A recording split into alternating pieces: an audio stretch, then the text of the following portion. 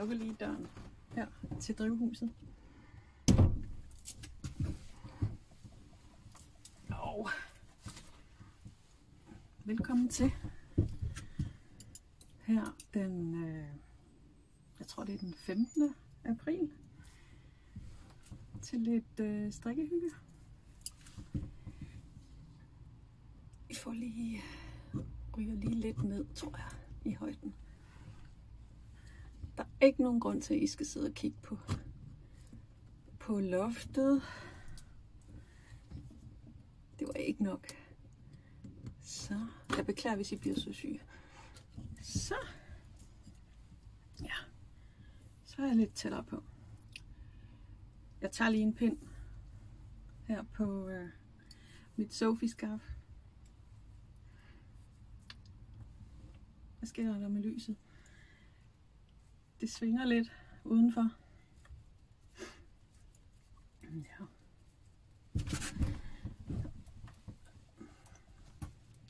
Velkommen her til her hos mig, The Dreamletter. Uh, jeg hedder Ellen. Det ved øh, de fleste af jer nok. Men øh, jeg kan se, der er kommet nogle nye følgere til her. Ja, i hvert fald siden jul. Så I er meget velkomne. Det, uh, det her det er jo en strikkepodcast. Og når der er vejr til det, så, øh, så sidder jeg herude i øh, vores lille drivhus på vores terrasse. Nogle gange så står solen meget ind, og lige nu der irriterer den mig lidt bagved, så jeg har hængt øh, et stykke øh, noget afdækning for. I kan se, der blaffer lidt i baggrunden her. Ja, der er øh, der gror ikke så meget herinde lige i øjeblikket. Øh, jeg har haft en kæmpe stor rosmarin øh, de andre år, men øh, jeg, den er simpelthen gået ud i år. Så det er bare super ærgerligt. Ja. Nå, 1, 2, 3, 4. Man skal jo huske at tage ind de rigtige steder på det her Sophie-skaf.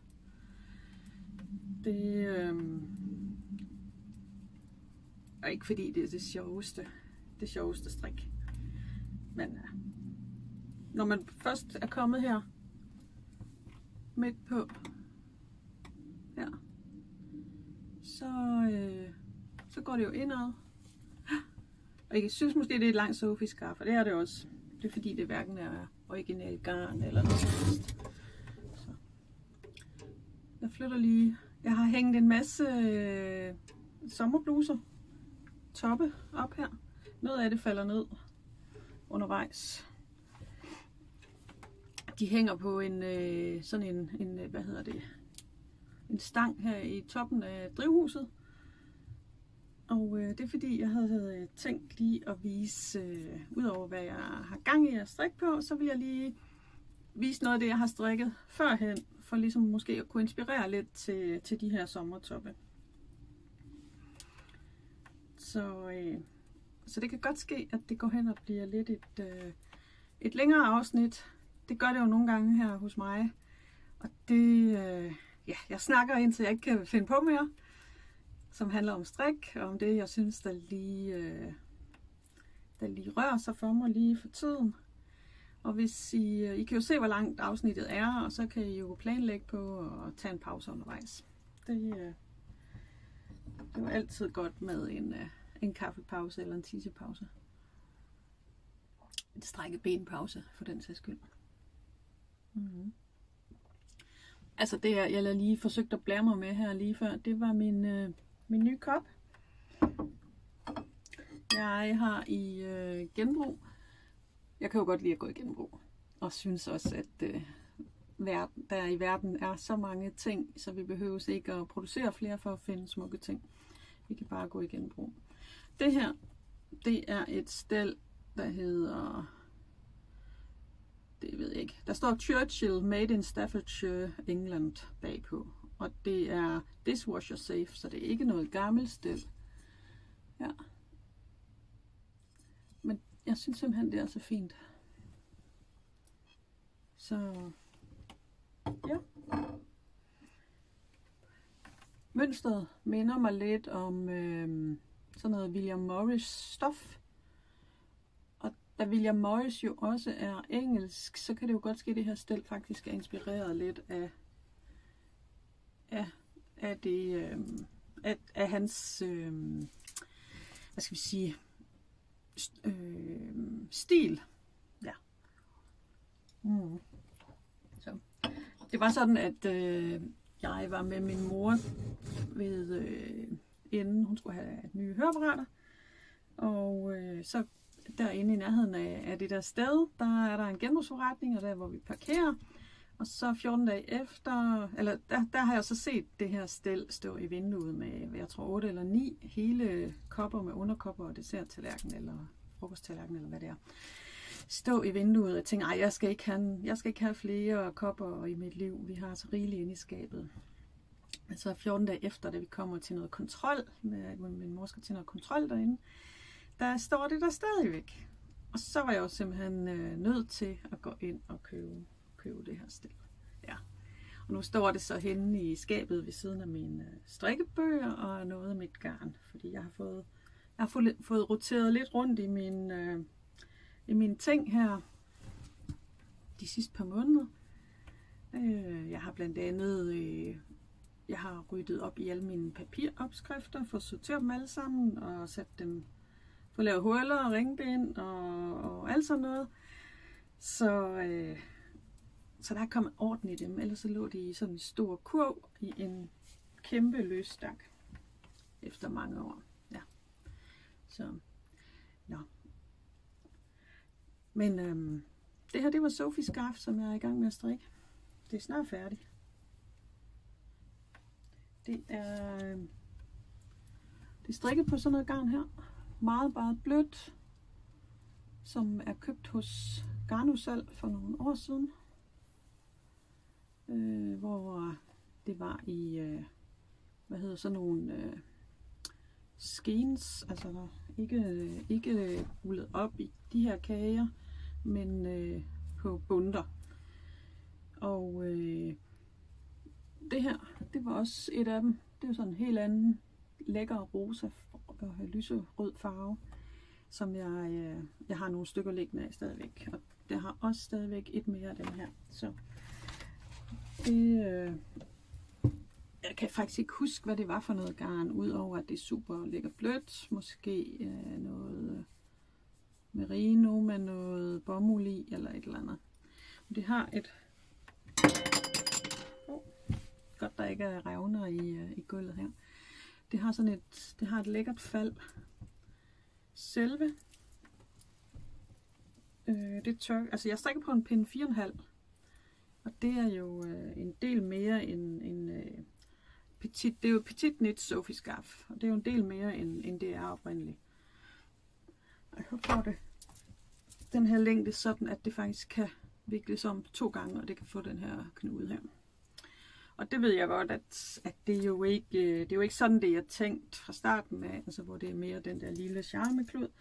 Men øh, det kan man jo selv moderere, ligesom man har lyst til, om det skal være, om det skal være på, den, på den ene eller på den anden måde. Så ja, jeg må hellere samle den her pind op igen. Øhm, og jeg havde egentlig ikke lige tænkt, at jeg skulle strikke Sophie Scarf lige nu her. Men der skete simpelthen det i, øh, i påskeferien, at, øh, at Pernille havde besøg af en veninde, og Pernille hun gik, øh, hun havde jo, jeg har jo strikket sådan et, et mørkebrunt Sophie scarf i den oprindelige øh, størrelse, og i noget kashmir, meget tyndt garn, som ikke vejer, ja, som jeg tror, det er i hvert fald halvdelen af et 25 grams øh, nøgle, det, der er brugt til det, og og det ser jo rigtig flot ud på de der øh, slanke unge piger, der godt kan lide sådan tøj, der matcher, og ja, ikke er for vildt og sådan noget. Men øh, hun havde besøg af sin veninde, gamle folkeskoleveninde, øh, som hun ikke går i klasse med mere, og, øh, og hun går så rundt med det her skarf, og så spørger hun mig, hvad, om jeg ikke godt ville øh, strikke sådan et til hende. Det, øh, så sagde jeg, det ved jeg ikke, altså jo, hvis I ville gøre min bil ren, fordi jeg kommer aldrig ud og støvsuge ud af min bil. jeg glemmer det altid. Lige snart jeg går og lukker døren bag mig, så har jeg glemt det igen. Og så er jeg i gang med noget andet, og det er ikke særlig... Øh, ja, det er ikke særlig attraktivt at gå og støvsuge i min bil, og den bliver jo mere og mere øh, sandet til og støvet og sådan noget. Så en gang imellem, så tør jeg lige lidt over med nogle vådservietter og sådan noget. Og kører i vaskehal og sådan. Men øh, ja, den der store hovedrengøring, den, øh, den når jeg aldrig selv til. Nogle gange har jeg købt pigerne til at, at, at gøre det for mig. Og det forsøgte jeg så ligesom, om jeg kunne øh, bytte tjeneste der. Og så siger de, ej, det gad de godt nok ikke, for det tog alt for lang tid at ordne min bil. Nå, jamen, øh, jamen så kan jeg lære jer at strikke. Og det øh, gik vi så i gang med der i påskeferien. Jeg har faktisk taget øh, kurven med her med øh, Pernilles sjal. Det som hun strikker på. Der er måske nok lige en utilsigtet udtagning her. Men jeg tænker da, at øh, det bliver okay. Så er der hullerne hernede, fordi at det jeg, øh, for at gøre det nemmere for dem, så i stedet for at bruge den udtagning, som Petit Nit bruger, der laver jeg en udtagning, hvor man øh, tager ned i længden imellem. Altså at man ligesom laver en synlig udtagning, sådan at det bliver nemmere at tælle de der øh, retriller, inden man så skal tage ud igen deroppe.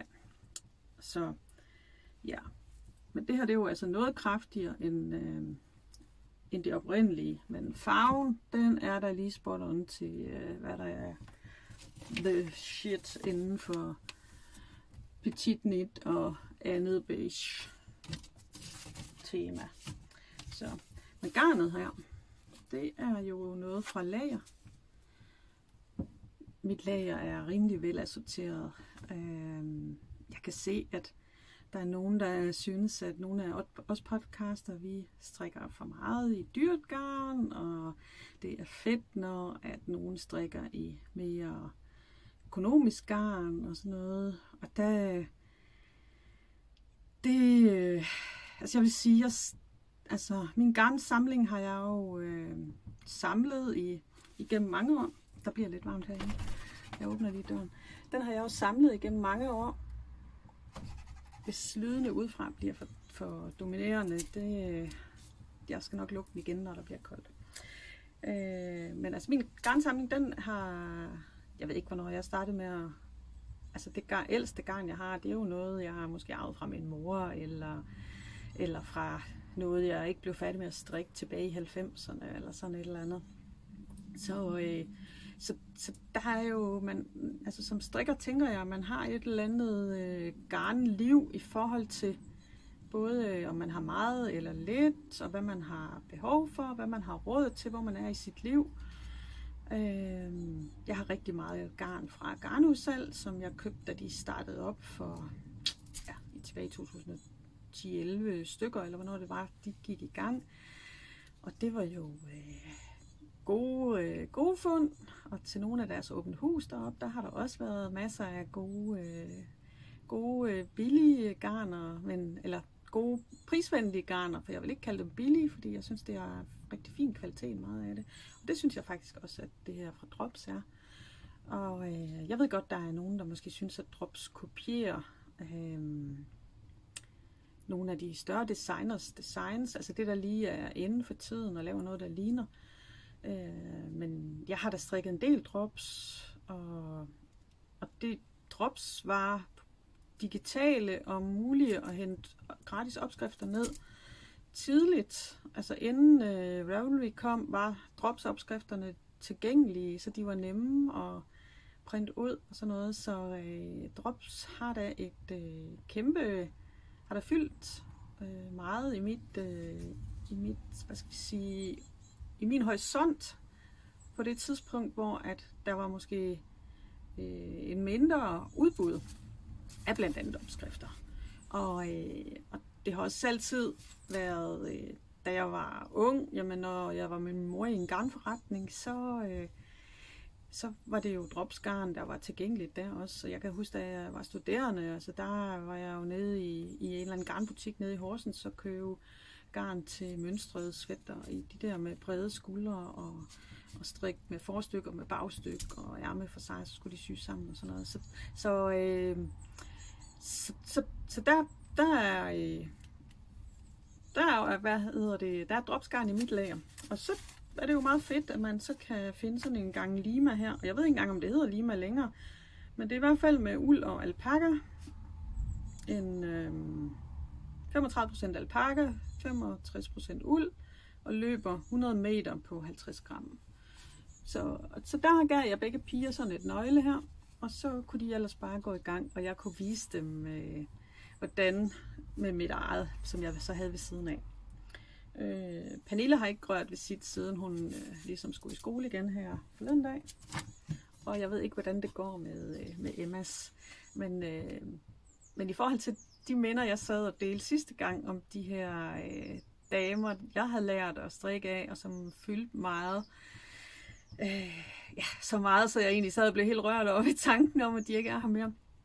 Øh, altså, så, så har jeg egentlig tænkt over, jamen, øh, jeg skal da også give, øh, give noget videre til nogle af de kommende generationer. Så hvis at, at bare en af de to piger, de øh, om nogle år vil tænke, nå, men altså, jeg kan da godt finde ud af at strikke, og så lad mig tage, tage hobbyen op igen. Og det ikke kun er, fordi man lige gerne vil have et, et øh, sådan en, øh, en lille, smart øh, fransk hals, halsklud der til, øh, til sit øh, outfit her i løbet af foråret og sommeren. Så ja, det var, det var en lang historie, og sådan er det jo nogle gange her hos mig. At det, der kommer lidt, øh, ja, sådan lidt, øh, hvad skal vi sige, øh, min snak den tager nogle øh, sideveje, og det handler jo ikke kun om strik, men øh, det, er, det er det, jeg kommer til at associere med, når jeg sidder, og jeg sidder her og, og nogle af de tanker, jeg har om, om mit strik, som jeg så deler her. så øh, velkommen til her på, øh, her på kanalen. Velkommen i drivhuset. Det er, øh, det er blevet forår. Det har været overskyet her hele dagen, og øh, jeg har set på Instagram, at der er rigtig mange strikkere, der er i øh, Herning i dag, i Højhuset. Og det mylder jo med arrangementer, man kan tage til som strikker. Øh, og det er ikke fordi, at jeg ikke har lyst til at være med derovre. Jeg vil super gerne støtte øh, op om øh, Marie Kokholms, Marie Kokholms arrangement derovre. Øh, men, men hvad hedder det? Øh, ja, altså jeg kan bare mærke, at jeg har haft nogle øh, år, hvor mit hoved har været lidt... Øh, har været rigeligt fyldt, og kalenderen rigeligt fyldt, og så jeg prøver at sortere lidt i, og, og så sige til mig selv, jamen du behøver ikke at tage med til det hele, og det er ikke noget med, at det jeg så ender med at tage med til, det er bedre end noget andet. Det er nogle gange lidt tilfældigt, og så afhænger af, hvornår det ligger, og i forhold til vores familiekalender, hvordan det passer. Skål i kaffe.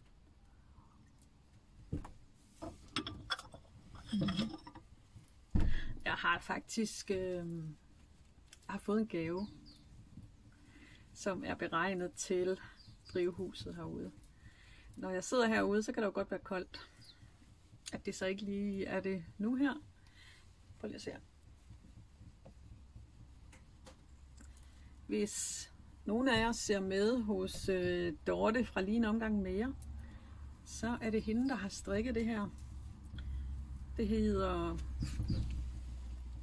Det er sådan en stor firkantet øh, sjal som hedder Picnic on the Path.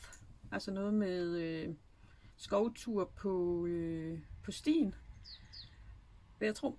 Og det er, øh, øh hvad hedder hun, Nitography, som har øh, designet. Og Dorte har strikket det i noget øh, jærbo-garn, og den her farve er simpelthen en af mine yndlingsfarver. Og Dorte synes, jeg skulle have det til, øh, til at, som sådan en... Øh, måske en knæplæt, eller sidde og varme mig lidt med herude i øh, drivhuset. Netop fordi, at det passer totalt perfekt til mine blå briller. Ja. Så øh, tusind tak til dig, Dorte, for det. Altså, det var jo ikke sådan, at Dorte, hun øh, sendte mig det her sjal øh, bare lige sådan. Det var simpelthen fordi, at Henriette og Dorte og mig sidste år blev vi enige om, og jeg tror, det var Dorte, der fandt på det, om ikke vi skulle lave garnnøgler som sådan påskeæg til hinanden, og byttede øh, 10 nøgler, sådan at jeg, vi sendte en bakke til hinanden, sådan at man endte med to gange 10 nøgler sidste år. Og det har vi så også gjort igen i år. Og øh, der er faktisk en god del garnnøgler hernede. Og øh, det er alle dem fra Henriette og fra Dorte. Øh, de er røget ud af, af æggebakkerne og over i, øh, i den her. Fordi jeg synes, det er lidt fint, at det bare står her i sådan en her. Så øh, det var helt fantastisk. Og dejligt. Og så med en ekstra gave til. Tak. Det sætter jeg pris på. Øhm, og så hvis, hvis, hvis du har set noget om, at, der, at Sandra og Sissel, de er blevet øh, spurgt, om de har kigget ind på det der strikke, strikke Reddit, strikke gossip, et eller andet halløj, hvor der står, at Dorte, hun er et brokhoved, så synes jeg faktisk, at det er ret uretfærdigt. Øh, dem, der skriver sådan, skal tænke på, eller dem, der skriver både sådan om Dorte, og om Sandra og Sissel, og om alle mulige andre. Når man skriver offentligt tilgængelige steder, så skal man lige overveje, om, øh, om det er sådan, man vil stå og sige lige op i hovedet på folk. Jeg har altid lært, at det, det man øh, går og slader om bag ryggen på andre, det skal man kunne tåle at høre igen, gengivet fra den, man har talt om.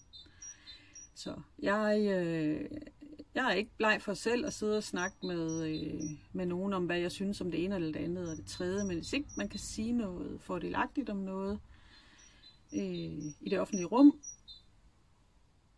om andre mennesker, så synes jeg egentlig, man skal, det skal man genoverveje. Så øh, det her det var egentlig bare en opfordring til at øh, prøve at kigge på, øh, på det hele menneske. Være lidt mere, være lidt rummelig, og så, øh, som Sandra og Sisse siger, så øh, er det jo ikke noget, vi får penge for, så det er gratis. Og der er den der øh, knap med tryk videre, hop videre. Der er så meget anden underholdning. Altså, det, øh, det er helt vildt, så... Øh, så hvis man synes, der er nogen af os, der er pisse irriterende at høre på, og man øh, trænger til, øh, til noget andet den dag, jamen så gør man da bare det. Man behøver da ikke at sidde og skrive det, øh, skrive det, så alle kan sidde og læse og gøre folk ked af det. Nu ved jeg ikke, om, øh, om Dorte hun er blevet ked af det. Det skal jeg ikke kunne sige. Men øh, ja, det... Øh... Nå, men hernede i, øh, i, der ligger der faktisk også et lækkert sæbe. Det er en øh, gave af Marius Hygge, og der står, at den ikke må spises, så det kan jeg faktisk godt forstå. Fordi at det ser nærmest ligesom, øh, det ligner næsten jordbæris. Og nede i bunden hernede, der ligger der faktisk også nogle øh, garnnøgler, eller nogle øh, minier, som øh, Marianne fra Marius Hygge, Marius Hygge, hun har også en podcast. Det har Henriette og Dorte også.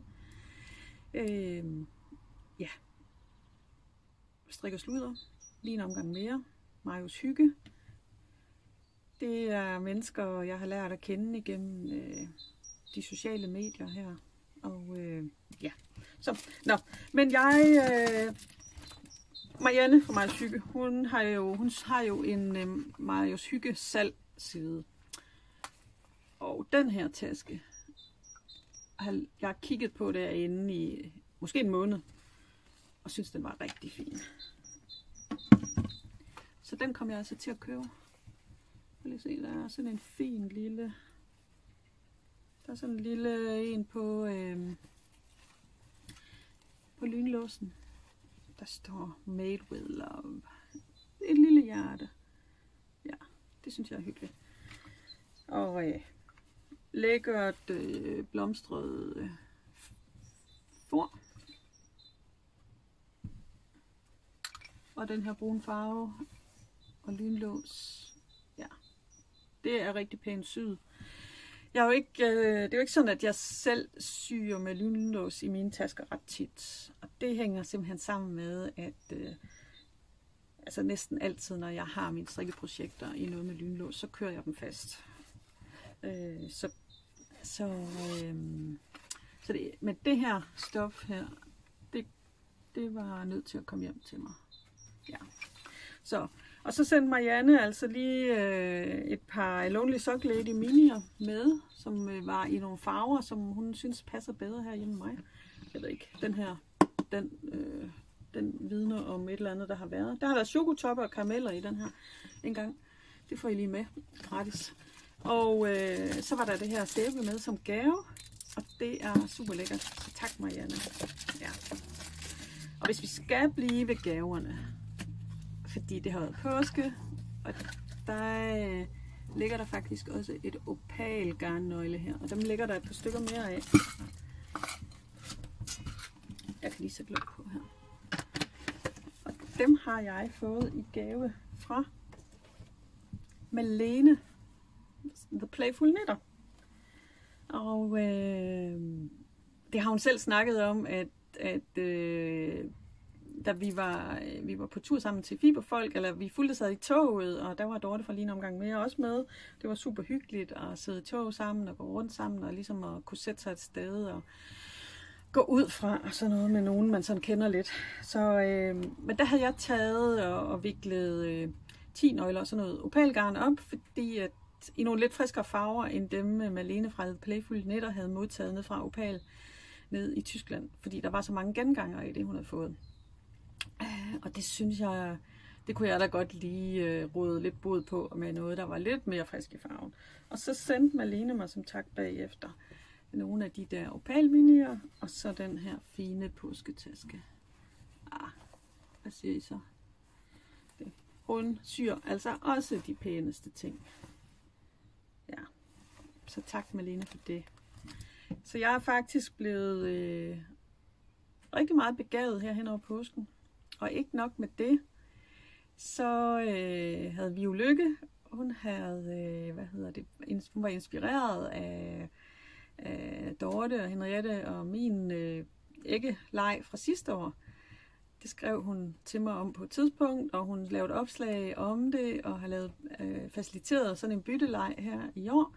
Og øh, jeg havde så glemt, at jeg havde meldt mig til der og skulle bytte med Violykke. Og øh, hun, øh, hun sendte mig så påskeæg med nogle minier i, som også er landet hernede. Så det er jo, øh, der var sådan noget slik i, det har jeg sørme ikke mere. Nej, så tak, lykke for, øh, for din omtanke der. Og jeg fik også sendt noget retur efter påske. Det er næsten ligesom gækkebrev. Det kan godt komme lidt, der kan man godt lige få lidt øh, påske, lidt chokolade og lidt, øh, lidt senere inden det er påske. Ikke? Ja. Så jeg føler mig vildt begavet her for tiden. Ja. Nede i den her, der er der april måneds, øh, måneds sok i øh, A Lonely Sock Ladies samstrik. Og det er den farve, der hedder A Box of Christmas Chocolates. Jeg er ret sikker på. Chokoladen er her. Og det her det må være æsken med silkepapir og sådan noget med mørke julefarver. Ja. Der strikker jeg en, øh, en strømpe med, hvad kan vi gøre? Få lidt mere lys måske, sådan her. Det er ligesom et gardin med de her trøjer, der hænger her.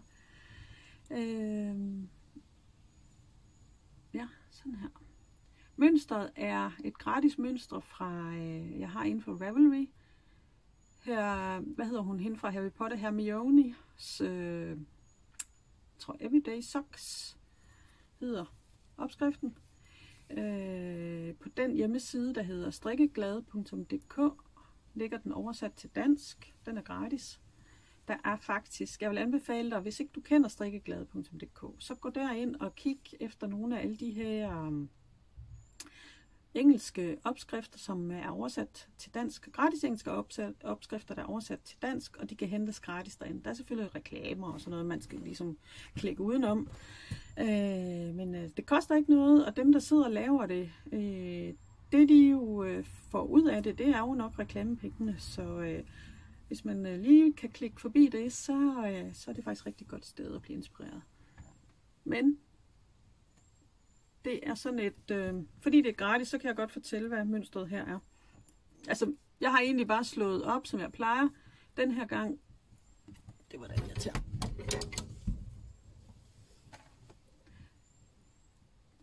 Sådan måske.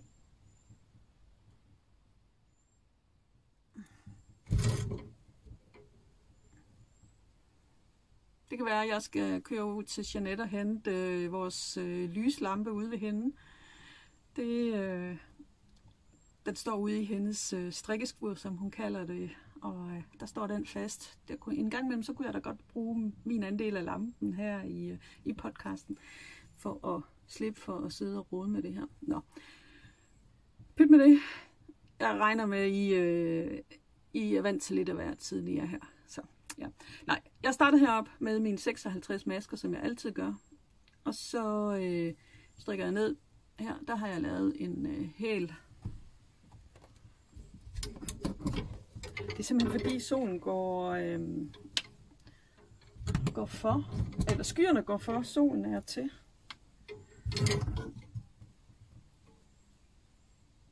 Og, nu, og når den er, når solen er her, så er det, så bliver lyset anderledes. Og når den forsvinder bag skyerne, så bliver det jo selvfølgelig, så skifter det selvfølgelig. Det kan, det kan min øh, Huawei-telefon, som jeg optager på, det kan den altså åbenbart ikke lige håndtere særlig godt. Nå. Hælen er en øh, boomeranghæl, bare uden det boomerang, der er, når man... Øh, altså normalt med en boomeranghæl, så, så, så laver man jo forkortede rækker. Og så når man skal... Og så med German Short Rows. Og så øh, når man når til midten, så strikker man en hel omgang rundt. Nu, tre omgange eller sådan noget hen over resten. Det lader jeg så være med.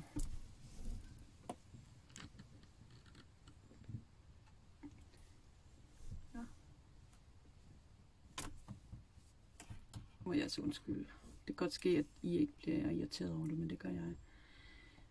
Altså, jeg sidder her jo for at vise noget, ikke for, at det skal være kulsort. Nå. Men så øh, strikker jeg øh, den her helt med forkortet rækker. Og selve mønstret er en pind, nu skal jeg tænke mig om, en pind glat, og en pind med ret og vrang, og en pind glat, og en pind med øh, vrang og ret, tror jeg det er.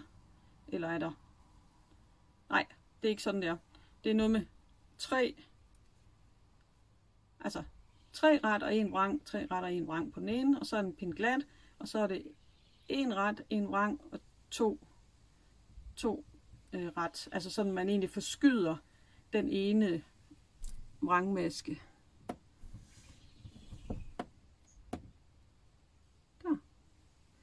Det bliver rigtig fint mønster. Men Hermiones Everyday Socks, hverdagssokker. Og de bor jo, de bor så hernede i, øh, i den her fine pose.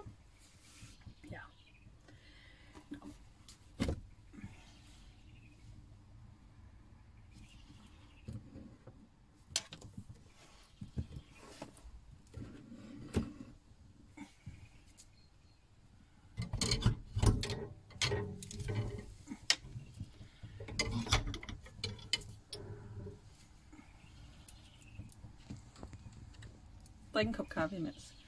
At jeg justerer meget primitivt på lyset her. Mm. Ja. Nå. Det var sokkesnak. Og dog, fordi der gemmer sig altså flere sokker herover. Og der kan man så sådan set også flere sjaler. Fordi i marts måned, der fik jeg jo også lavet en sok. Ja. Af, af Lonely Sock Ladies Garn. Mm.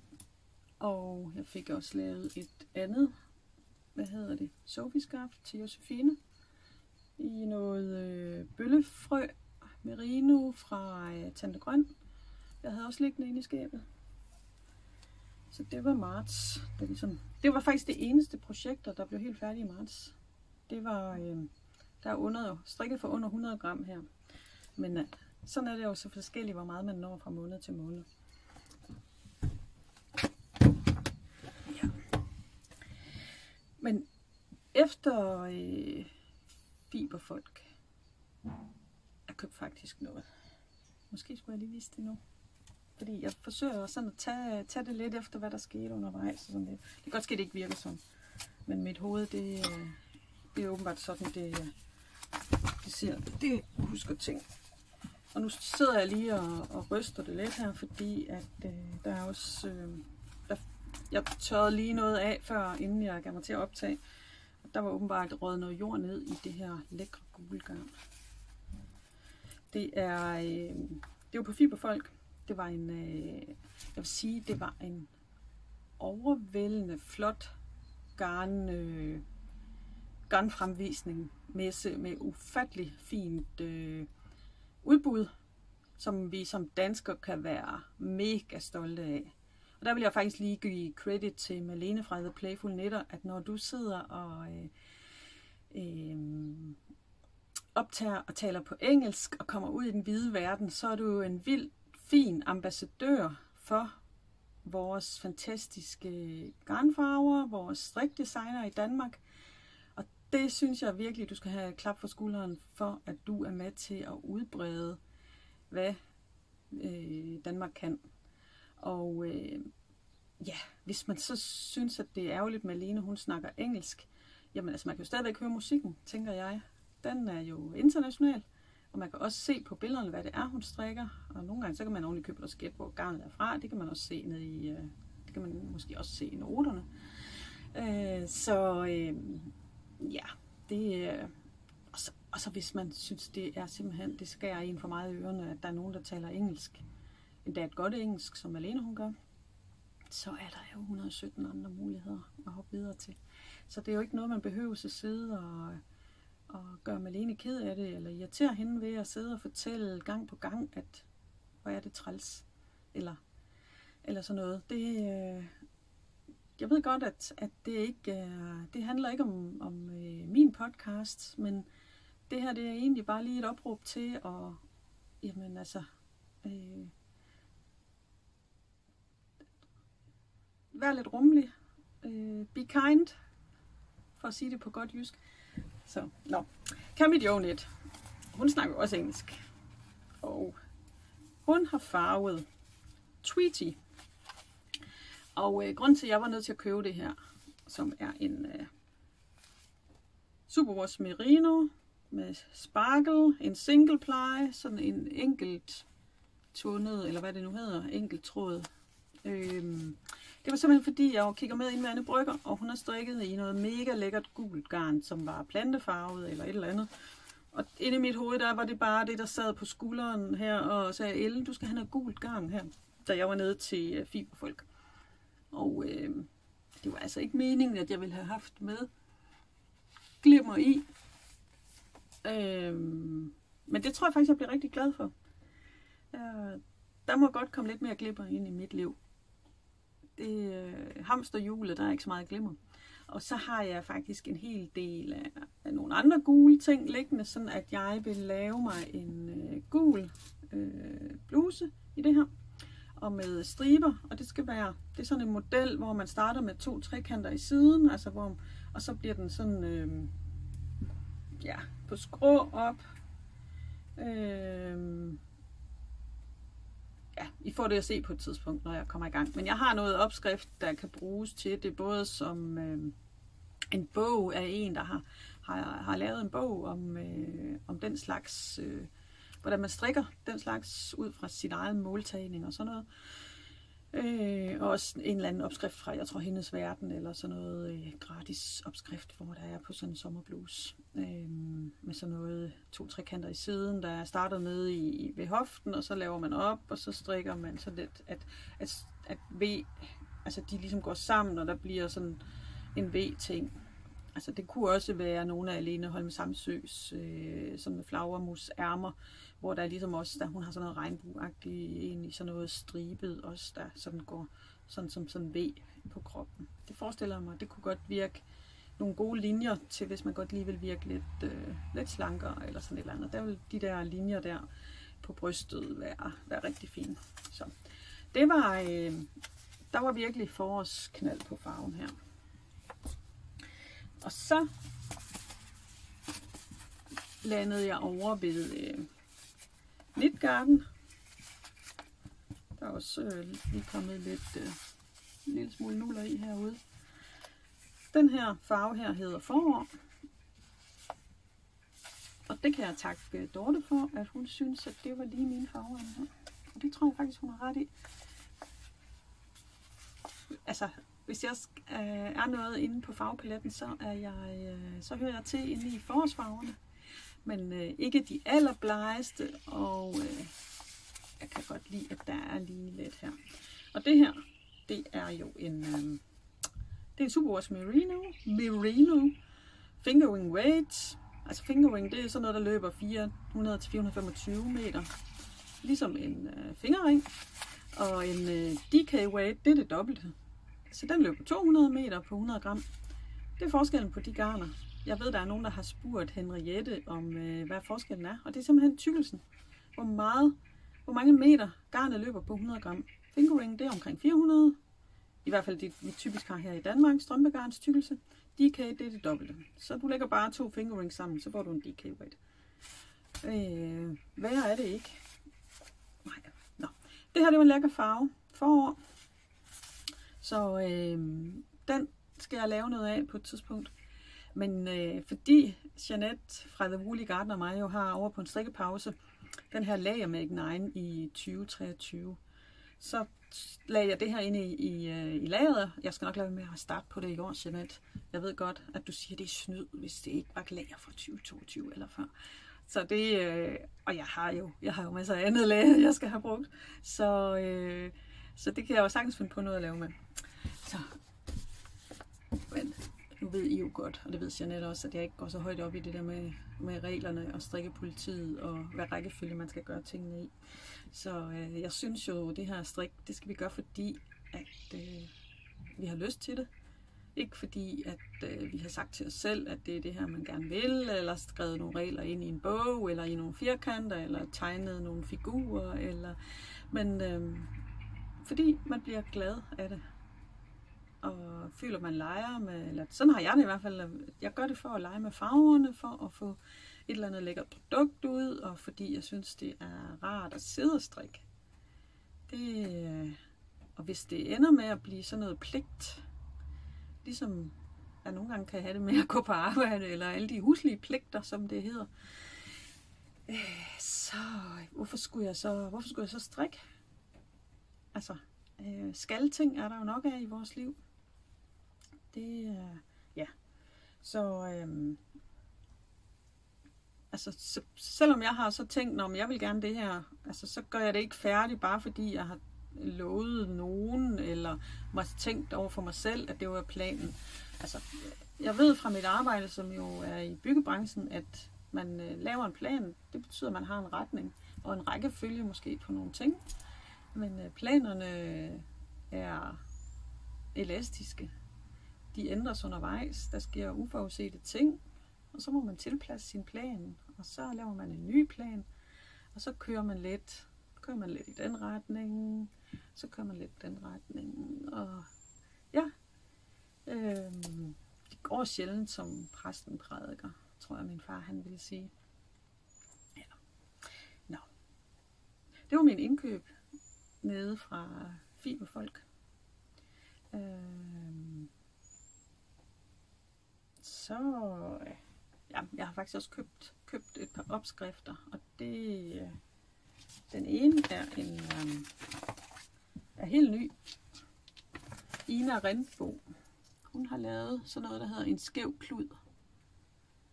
Den kan man købe ind på Ravelry for 30 kroner agtigt.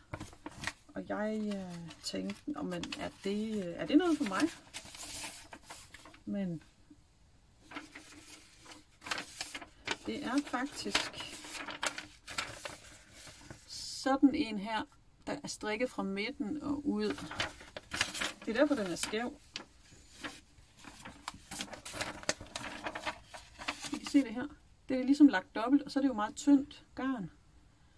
Og så kan man lave alle mulige mønstre i alle mulige farver og striber, og lave det så stort, som man vil, afhængig af, hvad man, hvor meget garn man har. Men ved at man starter i midten og kører ud af og laver sådan en firkant, man folder, så bliver det sådan et øh, let, tyndt, øh, så super god idé, Ina. Så det skal jeg prøve med, med noget på et tidspunkt. Ja. Det, øh, det var bare en anbefaling, som øh, sådan en... Øh, det kan være et one skin wonder, altså et af de her sjaler, hvor man kun bruger, hvor man kun bruger et, øh, et nøglegarn, eller det kan være med to nøgler øh, højlandsul, eller et nøgle softwool, eller ja, noget tynd line måske, hvis det skal sådan være lidt køligt øh, sommer, sommersjæl.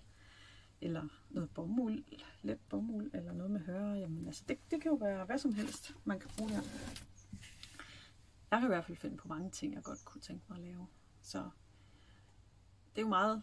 Altså nogle gange så tænker jeg lidt øh, op i mit hoved for hvert ene projekt, der ligesom hopper af pindene.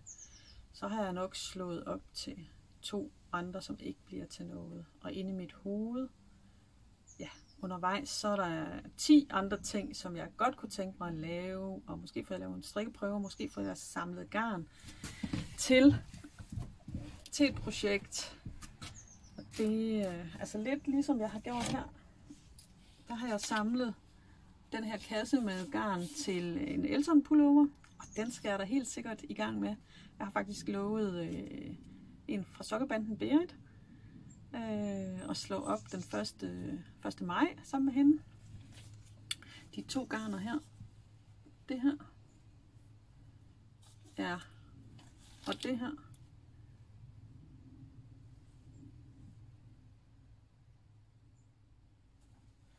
er fra Garnusel.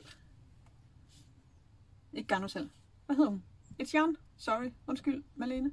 Der er stor forskel. Men gang gang. De er fra et jern. Den her nede er en, øh, et, garn fra Ulfen. Købt sammen med en hel masse andre blå. Super, super lækker blå farve. Ja. Altså hvis øh, der er nogle af de andre, der er grønt, så er jeg jo nok blå. Ikke? Altså på grund af brillerne, men også lidt den her farve er også mig. Nå. Ja, altså både, både brun og blå. Whatever. Og alle mulige andre farver. Nå. Men i Elton pulloveren, der skal der være en læsgarn indimellem øh, striberne i, øh, i sokke altså i fingering tykkelsen.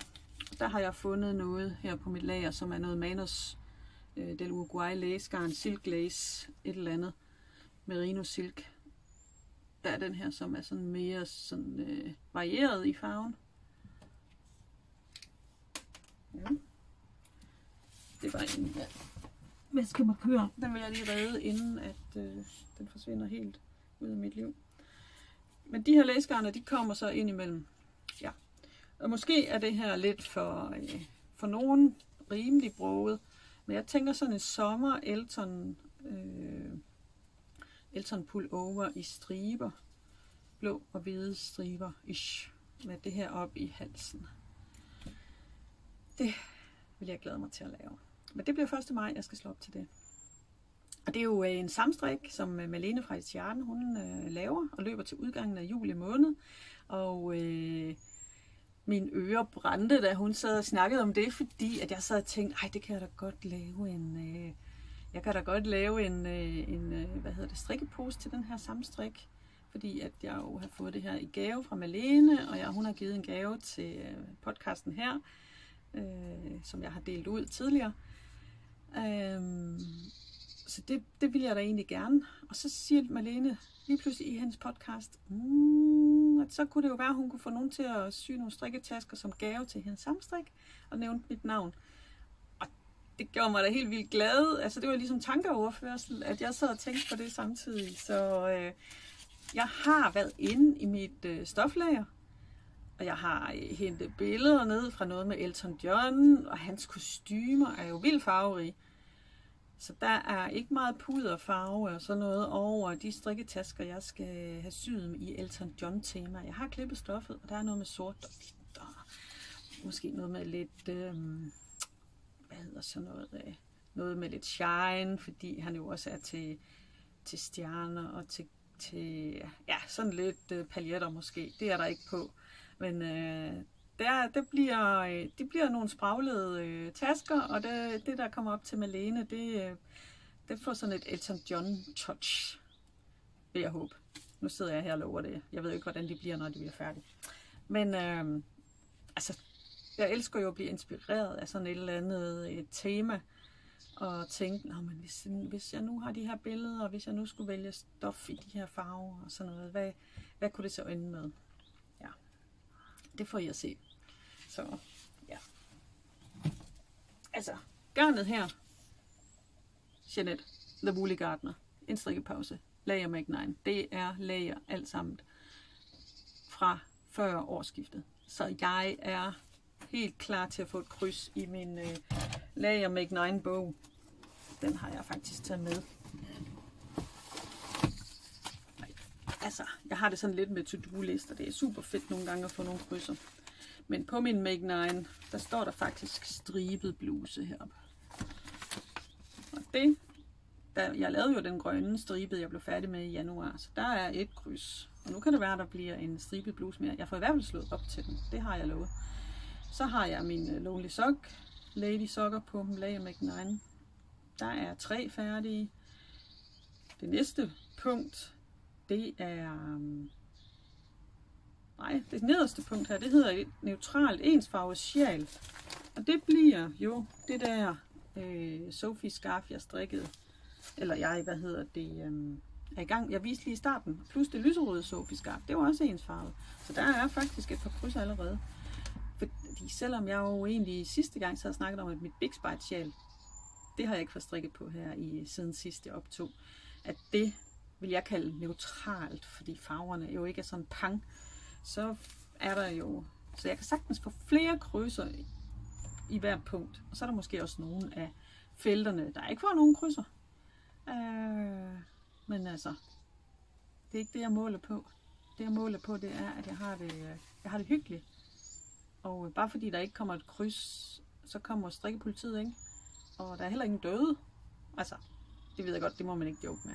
Men øh, det her, det er strik, og det er en hobby. Ja, Nå. Men øh, vær topberedt var også et af felterne her på, på hvad hedder den?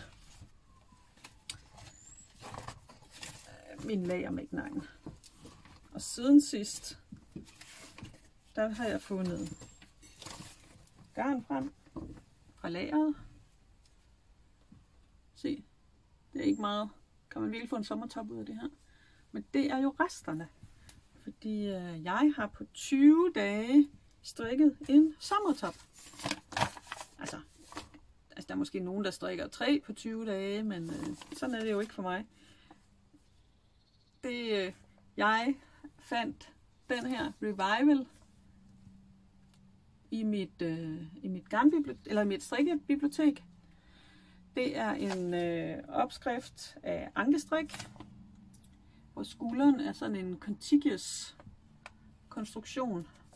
Faktisk, hvor man starter med at slå op i nakken, og så strikker man frem og tilbage og tager ud hen over skuldrene, og, og, sådan, og så danner man den her runde hals med, øh, med at strikke frem og tilbage. Og så på et tidspunkt, så kan man køre hele vejen rundt. I mange år har jeg haft øh, nogle anvisninger på den her contiguous metode liggende til at lave skulder i mit bibliotek, men ikke fået det gjort. Og jeg har også haft nogle gratis opskrifter, nogle stribede nogen, man kan finde. Man kan faktisk finde nogen inde på Strikkeglad også med den skulderkonstruktion. Øh, haft dem liggende. Og så i anledning af, jeg tror, at det, er, det var 10 år siden, at Susie M. Susie Meyers, hun øh, publicerede den her contiguous skuldermetode Øh, det var i 2011. Der har Ankestrik så opdateret en opskrift. Revival, altså en, øh, hvad skal vi sige, man kommer igen. Revival, det er vel det, det betyder, eller gensyn, eller sådan. Øh, og den er strikket i øh, fingering garn, altså noget, der er 400 meter på 100 gram. Og det er der jo masser af i mit lager. Så, øh, og jeg synes, den her halsudskæring også er perfekt til en kortærme. Så jeg var inde og finde tyrkisblåt i godt nok to forskellige indfarvninger. Så jeg har måttet øh, strikke øh, hver anden pind med den ene og hver anden med den anden, for ikke at det skulle blive for tydelig overgang. Og så har jeg strikket rib i den her øh, petroleumsfarvede. Ja. Og ta -ta -ta -ta, trøjen er her.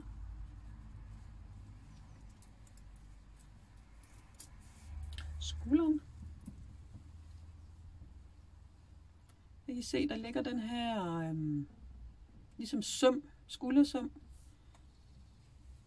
Og så ligger den ned her. Som om, at det var påsyet ærmer nærmest. Det synes jeg er rigtig pænt. Og øh, høj nakke. Ja. Og dyb halsudskæring. Øh, den sidder fint. Og jeg kunne da egentlig godt have taget kortærmen på. Jeg tror der var koldere herude i dag. Så jeg har både, øh, jeg har både lang undertrøje og halsteklæde og min ingen der gamle gammel strik. Hvad hedder den her lange linje? Sel hedder det vist, og ingen dækkedar sweater, som er meget løs i halsen. Den har faktisk på et tidspunkt fået en reparation i halsen, eller sådan en, hvor jeg har hæklet her på indersiden, for at stramme den ind. Det er et godt tip, hvis man øh, synes, halsen den bliver for hvid i brug. Nå, tilbage til øh, Revival Tea her. Der er sådan en øh, vrangmaske ned i siden. Sådan at det også ligesom, altså det ligesom på en eller anden måde er en, øhm, en vrangmaske, der viser en søm ned i siden. Så er der så sådan en bule her i siden.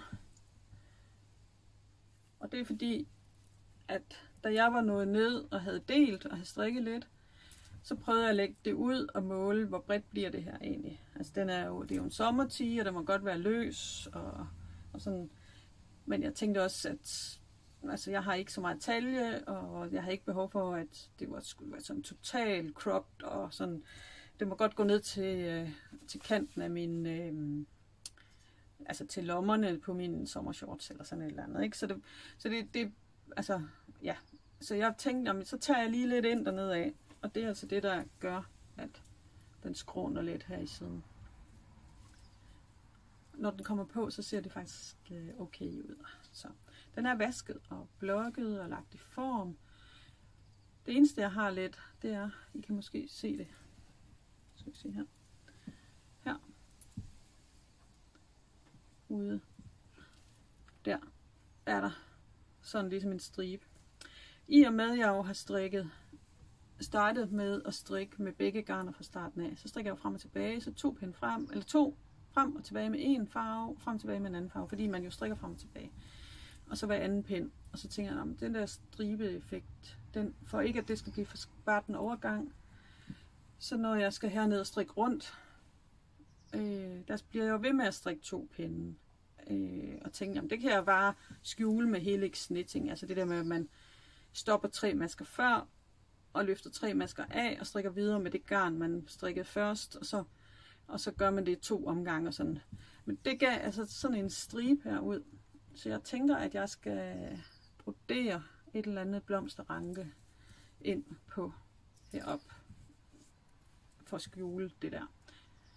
Og så, øh, da jeg samlede op i halsen, der er jo meget lidt rib her foran, i forhold til, at man også har lidt højere rib her bagpå. Der tog jeg den første omgang med den øh, lyse tyrkis. Her kan I se den der stribe. Der ser rigtig dumt ud med de huller der. tog den første omgang med den lyse tyrkis, og det ville jeg altså ønske, at øh, jeg havde bare taget den, den mørke petrol fra starten af, fordi at det er ligesom om, at overgangen her bliver lidt, lidt udvisket. Øh, jeg tror ikke, det er noget, der kommer til at genere mig, når jeg har den på. Ja. Den er super lækker og blød. I opskriften, der er ribben ikke strikket som sædvanlig rib. Jeg har strikket en ret en vrang rib. Øh, simpelthen fordi jeg ikke har læst opskriften. Så jeg havde jo lavet rib her for neden, og jeg har også lavet rib i ærmerne. Da jeg kom op i halsen, så står der jo noget om de her forkortede rækker, og så strik frem med rib.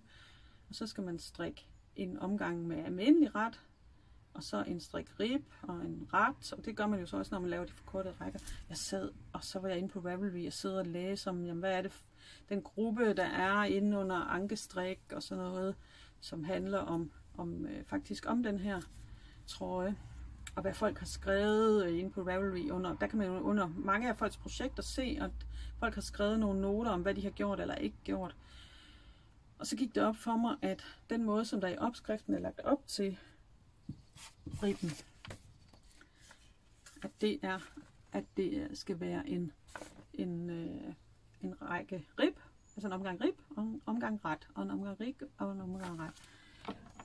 Og det kan godt ske, at øh, altså så bliver, så bliver ribben nok ikke så øh, skarpt defineret, som den gør med almindelig rib. Øh, så det giver et andet udtryk. Så det skal jeg da prøve på et tidspunkt at lave rib på den måde på en bluse. Ja. Nå. Det var mit øh, være topberedt projekt her i år. Og så har jeg jo øh, siddet og snakket om, at, øh, at jeg faktisk havde nogle øh, øh, idéer til andre sommertoppe. Der kan vi lige tage et par stykker af dem, jeg har lavet førhen. Sidste år fik jeg lavet en jule i øh, cotton wool fra garnudsalg. Og der har jeg også tilbage for nogle år tilbage, tror i 18 eller 2018 eller sådan et eller andet, strikket den her jule i øh, et garn fra Volapyk med noget silke i. Det kan man se her. Uh, jeg tror, den er rimelig nullet. Men farven kan jeg godt lide. Det var også en jume. To stykker jume. Så er der her i lageret også en øh, sådan en stroptop her, som jeg tror er sådan en, der er en, øh, jeg ved faktisk ikke, jeg kan ikke huske, hvad den hedder, men jeg tror, den er en, efter den der vitre Vitra-strik. Hun øh, hed den nordisk top eller sådan et eller andet. Øh, det er ikke mig, der har lavet den. Men øh, farven er super lækker. Jeg fandt den i en genbrugsbutik for et par år siden. Øh, nu lugter den øh, rigtig, rigtig godt, fordi jeg har haft den vasket nogle gange. Og, øh, og jeg har ikke fået den brugt, fordi jeg synes, den lugtede lidt, øh, hvad hedder sådan lidt hengemt og lidt som sådan noget vasketøj, der er blevet surt. Men det har jeg fået ud af den, så jeg, jeg håber da, at jeg kommer til at kunne bruge den her til sommer. Farven er skøn. Så er der en øh, sådan en gul en her med ravlanærmer, som jeg også strikkede i måske 2018, 17-18 stykker, vil jeg tro. Altså inde på min Ravelry side, der kan man se dem alle sammen, og hvornår de er lavet. Jeg har tagget dem med øh, 10, så man kan vælge sådan en kategori derinde. Hvis, altså, måske kan man. Jeg kan ikke helt finde ud af, hvordan man gør. Øhm, men øh, de ligger derinde. Og den her, det var en, jeg har lavet, hvor jeg har forsøgt mig frem med Ravland uden en opskrift. Og der har jeg jo så ved Ravland udtagningerne bare lavet sådan nogle huller her i siden. Og det er et hørgarn, der løber sammen med en, øh, en tynd følgetråd i sådan en lidt mere sennepsfarve. Den gule hørgarn, den er, det er noget af garnusal. Super lækkert garn. Så er der den her.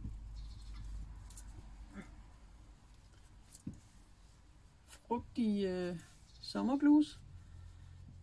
Fruity Tea, hvor jeg har øh, lavet striberne efter øh, hvad hedder den?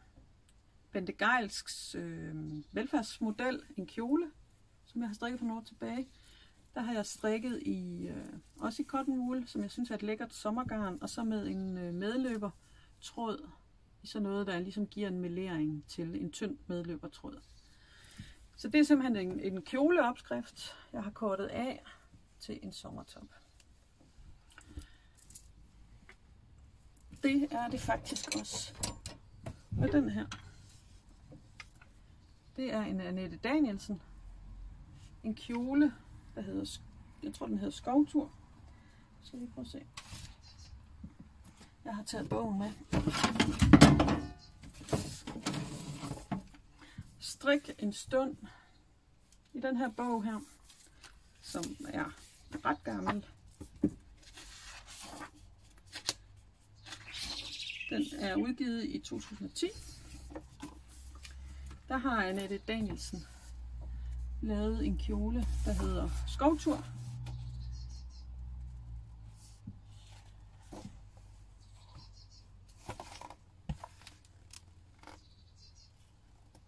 Hallo. Der. Der kan man se det. Som kjole. Ja. Den, har, den er strikket op fra og ned. Det er en pind... Øh, det er 20 masker på 10 cm. Opskriften kræver. I opskriften der er der brugt Twinny og især bomuld. Det har jeg ikke, øh, det har jeg ikke brugt. Øh, jeg tror igen, det er en øh, op for garnudsalg sammen med en medløbertråd, jeg har på.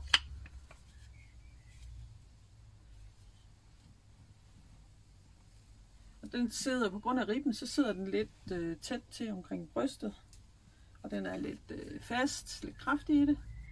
Men egentlig rigtig øh, Altså det er ikke sådan, fordi at det er lidt kraftigt stof, altså det er ikke sådan, den er vild, så varm er den heller ikke, men så, så, så er det ikke sådan, at ens øh, mavedeller totalt øh, skinner igennem, som for eksempel nu i, i sådan noget øh, single, øh, sådan noget tyndt noget her, der ligesom godt kunne finde på at sidde og klæbe lidt.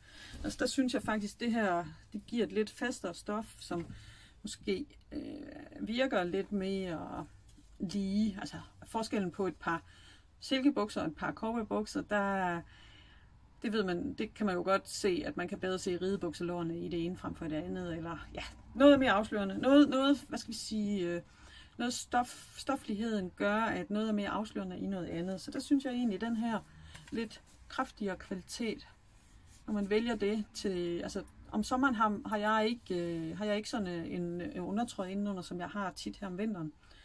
Og det gør jo også, at altså sådan en, en øh, strop top, der måske det behøver ikke at være sådan noget shapewear, men altså, det glatter alligevel lidt mere ud.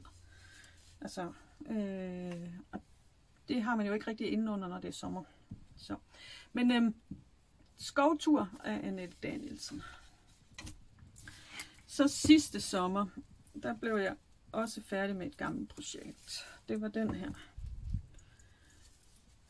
Leiden Tea, som er fra den her, det her pomponhæfte, som er fra sommeren 2018, øh, som egentlig er lavet med sommerstriber, hedder, hedder øh, hæftet. Og der var det, at jeg startede på det for nogle år siden, og blev færdig med den sidste år. Og det er sådan et garn med en, øh, noget høre eller noget bomuld, altså sådan et silke, noget silkeagtigt noget, der er i her. Og så er de lys, de lyse striber er en cotton wool. Så der er rigtig meget af mit sommerstrik, hvor der er noget cotton wool i. Ja. Og hvis jeg så lige skal... Den her. Fordi jeg har siddet og kigget i den igen her i år. Der er for eksempel den her stribede sommertop.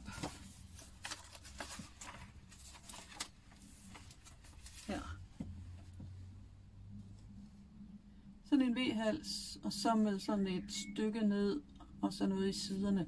Det gør jo også, at, at hele, hvis man føler sig lidt bred over, over, over overkroppen, jamen så bliver V-halsen jo med til at, at øh, ligesom bryde den der bredde, og de her striber ned siden kan jo være med til også at bryde bredden af ens krop, så at øh, man får nogle linjer øh, ind i sit strik. Så øh, den kunne jeg rigtig godt tænke mig at lave. Der har jeg været inde i mit lager og ledet efter, efter hvad for noget garn, jeg kunne tænke mig at lave striber i. Prøv at se. Det her er for mig sommer. Hvid og noget med blå. Ja.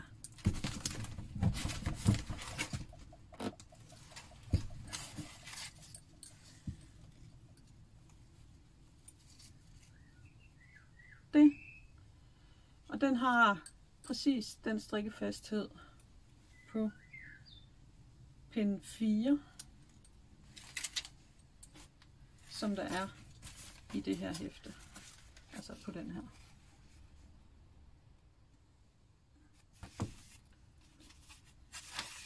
Ja.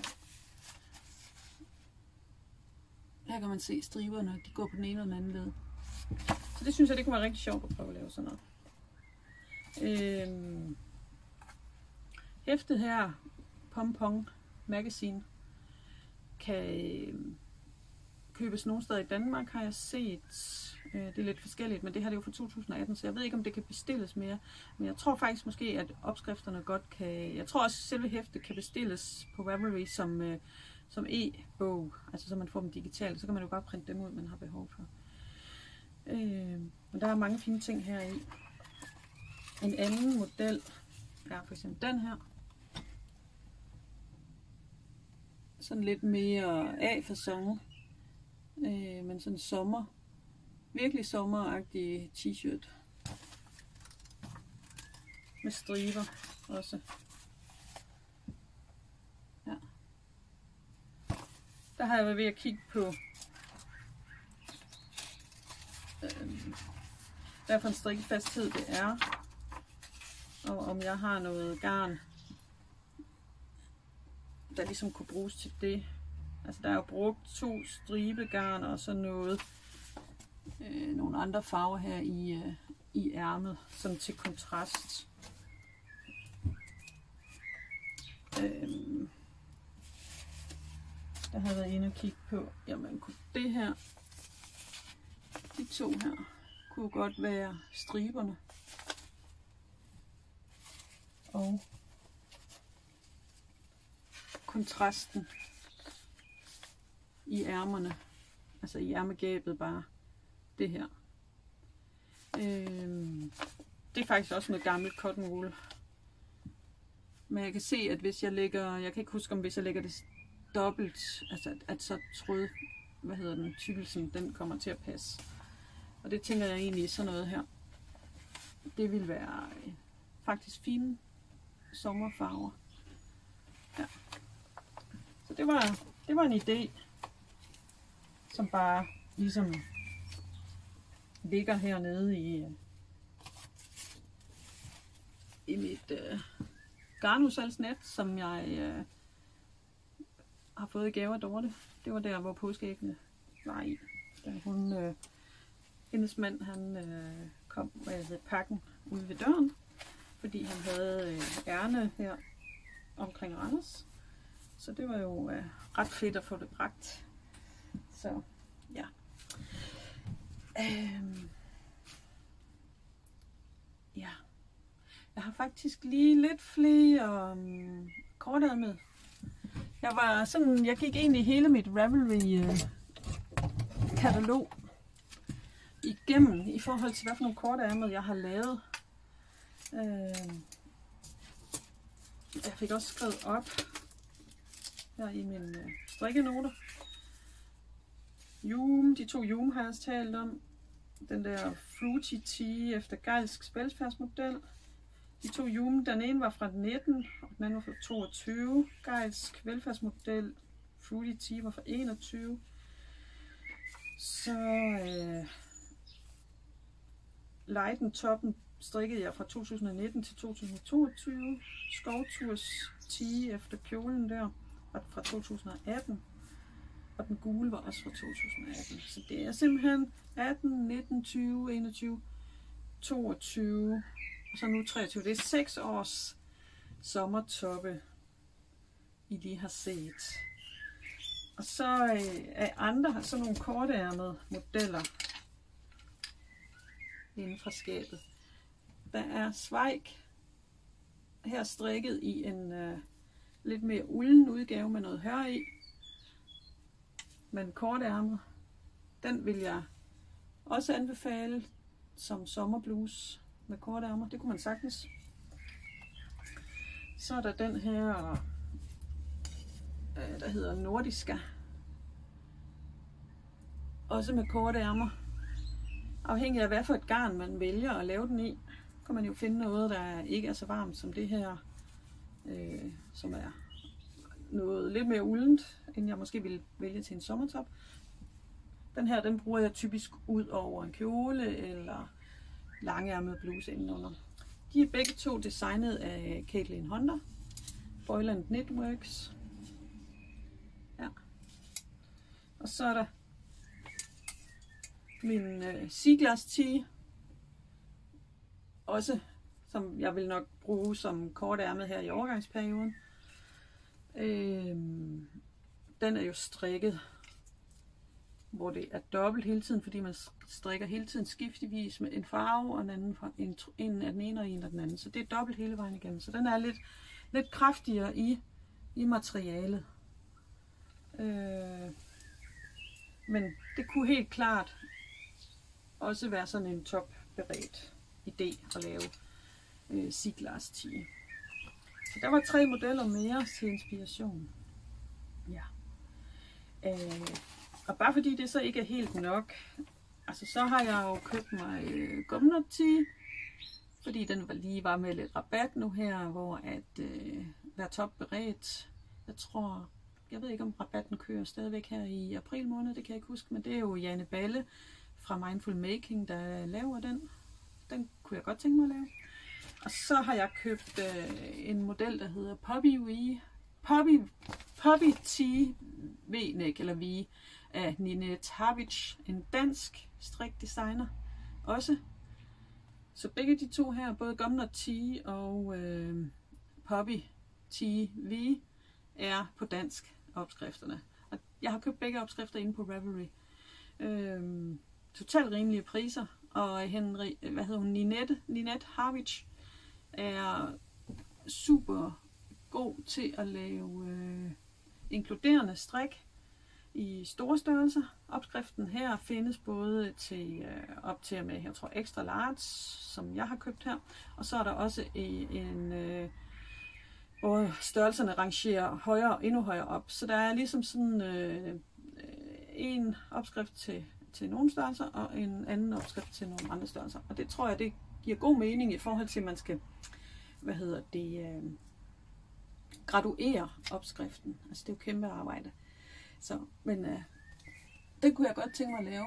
Jeg har set Ninette, hun, øh, hun har strikket den i sort med sådan en guldkant i, i sådan en bise rundt ved ribben der. Altså ikke selve ribben, men sådan, den ser utrolig øh, elegant ud hvis man nu skulle noget med en, en flot sort bluse og sådan lidt partyagtig.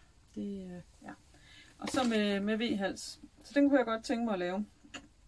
Øh, jeg kan se, at strikke fastheden, altså den står til pin øh, 3,5 og 4, og strikket op fra og ned. Strikkefastheden er 23 masker på 10 cm. Og på strikkefastheden på Gumnut Tea er, den har jeg ikke fået med ud her i det, jeg har printet. Men det kan man jo alt sammen slå op. Så det var i hvert fald eksempler på, på noget, øh, på noget øh, sommerstrik, øh, som ligesom er rullet ind omkring mig. Der er, øh, der er sommerstrik, som man kan se rigtig mange steder, andre steder, og der er også noget til inspiration af noget, som øh, måske ikke lige florerer helt så meget, i hvert fald ikke lige i mit feed på Instagram. Så det håber jeg, at I kan bruge til noget. Ja.